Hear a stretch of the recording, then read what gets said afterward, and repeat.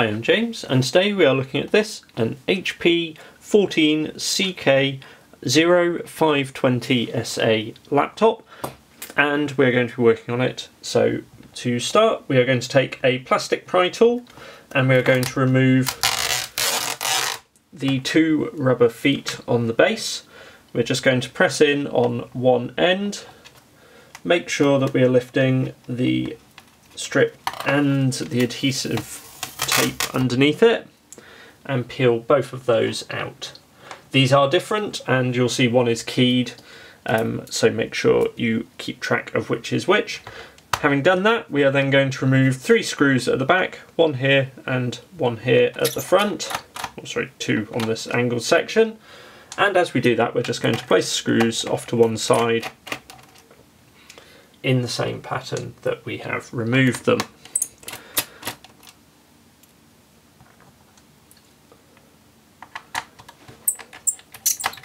This is just using a Phillips 00 size screwdriver and I will include a link in the description for the parts and tools that are being used for this machine.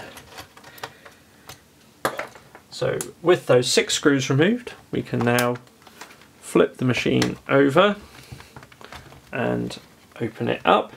We're going to take our pry tool again and we are just going to around the palm rest here where the palm rest meets the base. We're just going to start pressing in and releasing the base. Doesn't take too much pressure to this and uh, it's not a ridiculously tight fit. So we're just going to go around and release those. And down the other side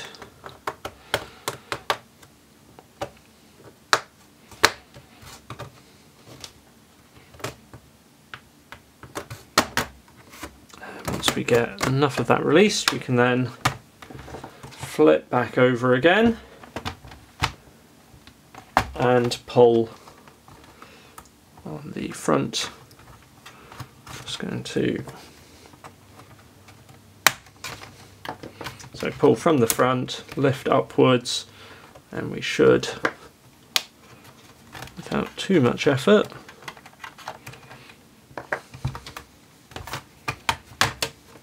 have the base off. Now once inside, first thing that we are going to do is we have the battery held in with four screws. This is a fairly standard HT03XL battery, typical in a lot of HP laptops. And so we are going to lift that out by removing the battery, we're just ensuring, oh, sorry, one more back screw there, four screws. So by removing the battery, we are going to just lift on the front edge and then slot it out at the bottom. So by removing that, we're ensuring that the laptop is electrically off.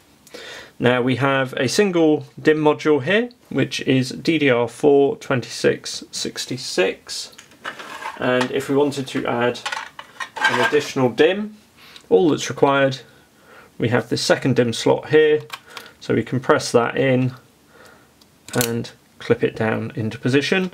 We're not actually upgrading that today however so we're going to remove that and place it back in the drawer.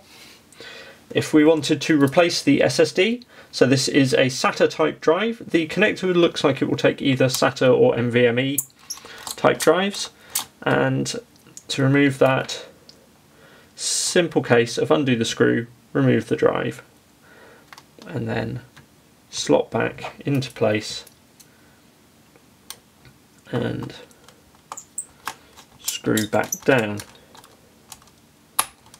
Now I will recommend in the link uh, below a SATA drive or I will check uh, the service manual to see if it would take NVMe types as well and uh, include in the description whether it will or not. Now the real reason we're here today is as we can see this fan is not moving smoothly. We have a new one to fit. So to do that we have the connector here. So we are going to gently ease out the fan connector. We then have two screws which hold the fan in place. With those removed we should now be able to lift and remove the fan as so and I'm just going to quickly give that a very brief clean just remove any dust. With that done we're now ready to install our replacement fan so we just slot that into place make sure those screw holes are lined up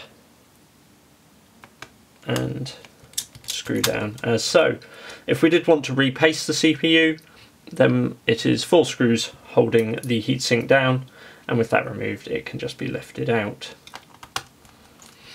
To replace the wireless card there is only a single antenna connector here, single screw here to lift the wireless card out and replace it. So with the new fan in place we just need to make sure that the connector for it is clipped into place. And with that done we are now ready to reassemble our machine. And so we can slot in our battery, replace the four screws for that,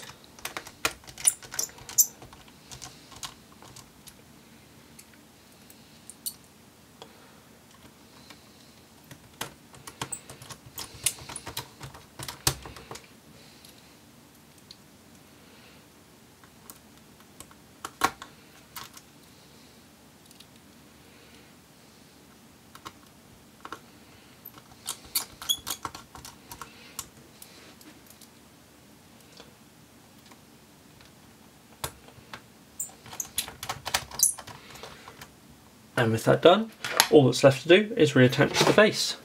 So we take our base, refit it starting on the side with most of the ports, press down just in place, flip over and open the laptop, press down to refit all the clips to the base swap back again and then just replace the six screws into the base making sure that we have them in the frame.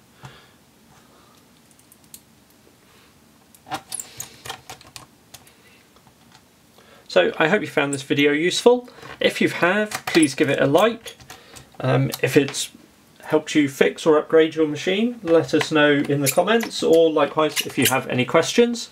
Hit subscribe if you'd like to see more videos as we post them. Thanks for watching and I hope you have a nice day.